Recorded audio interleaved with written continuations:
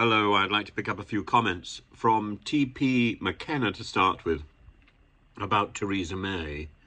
Uh, she thought she was quarantining Johnson by making him Foreign Secretary, but she wasn't, of course.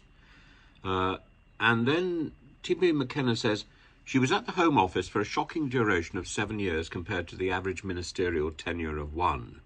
She was left alone by Cameron with no proper scrutiny of her programme. During this time, she inflicted extremely damaging cuts on police numbers.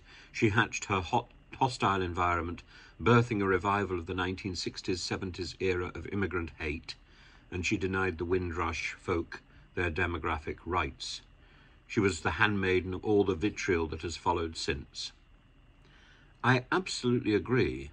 Of course, when it came to Windrush, she dodged the bullet and left her successor, Amber Rudd, to take the flak for what she had created, for the mess that she had created, and that alone is so graceless as to damn her completely.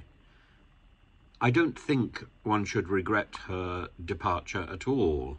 I think one should be cheering. But uh, should she go into the House of Lords or not? That's another question.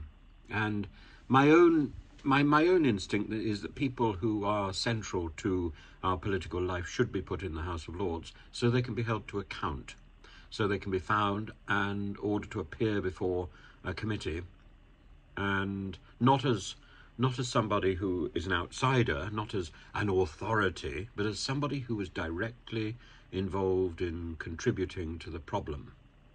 And maybe at some point in the future she can provide some sort of solution. It's always possible.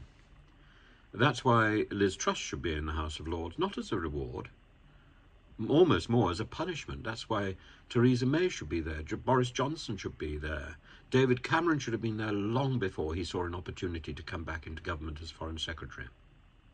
The House of Lords is there as a parking place for former high flyers who can then be held to account. And we've got into a habit of thinking that it's a reward. It is as well, but it's also a, a holding uh, site for political miscreants.